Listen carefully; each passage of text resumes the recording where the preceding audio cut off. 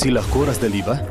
Ta teden imam servis avta, pa še ne vem, koliko me bo stal. Servis pa res ne more biti izgovor. Pri spletni ponudbi tak že vnaprej veste, koliko vas bo stalo vzdrževanje. Poleg vrhunskih storitev, Renault ponuja tudi zimske pneumatike z vključeno premontažo in asistenco, že od 47 evrov.